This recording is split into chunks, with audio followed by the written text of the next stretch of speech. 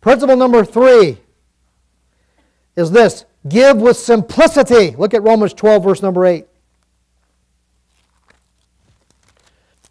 Romans 12, verse number 8, the Bible says, Or he that exhorteth on exhortation, and then this, He that giveth, let him do it with simplicity.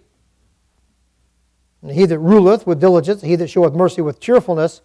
But this gift of giving, a person who communicates to needs with resources, he's given some instruction that serves as a basis for a third principle that governs us and guides us in our giving.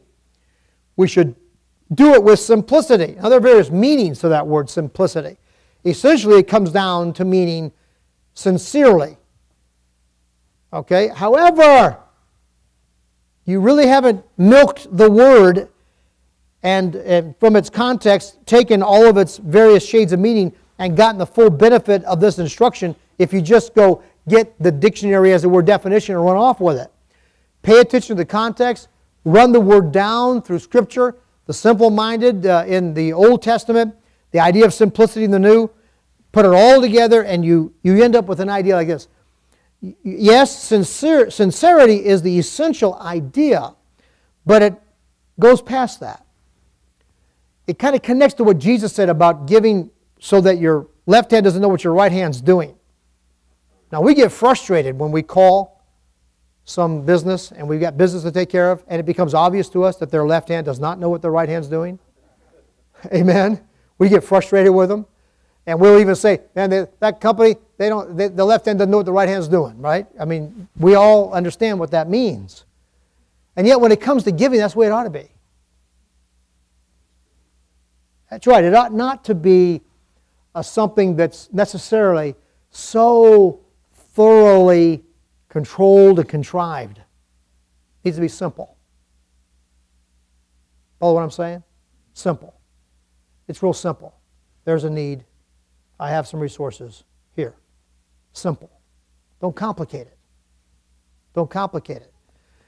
Sometimes a lack of sincerity in our own spirit will motivate us to complicate our giving. Be careful about that. Now, this, this then it, it does get complicated because I'm not saying that means you should walk down the street and there's a bum sitting there begging for dimes because he wants to get enough dimes to go buy another bottle of Thunderbird. And that you should be very simple about it and not, not inquire, just, okay, well, you're here. That's not what I'm saying.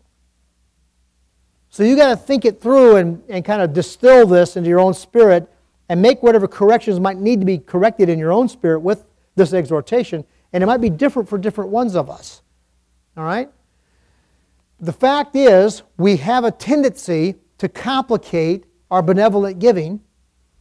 And I don't mean by that being concerned about wasting it on somebody who's not, who, who's not worthy, who's just going to waste it, who's just going to squander it.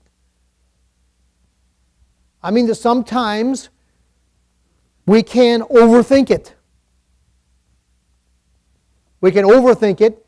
We can get all hung up and, and fail to respond to an immediate need with immediate relief.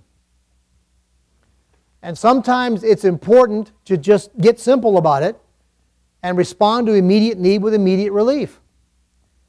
Now, I almost wish sometimes that I could preach the next, I got a message planned about five messages from now that addresses this in more detail. But just understand that I realize there's more to be said here than I'm saying right now. But get this much right now. Be careful that you don't complicate your giving. And what you said, something about no strings attached. Yes. Sometimes we tend to attach, make attachments to our giving. Well, we don't mean to, perhaps, but that is what it ends up doing. And we got to be careful about that. And I get into that some more in the fourth principle. But all these principles interlace in such a way, it is difficult to talk about one without bringing up something that relates to the other so, because they're all interconnected.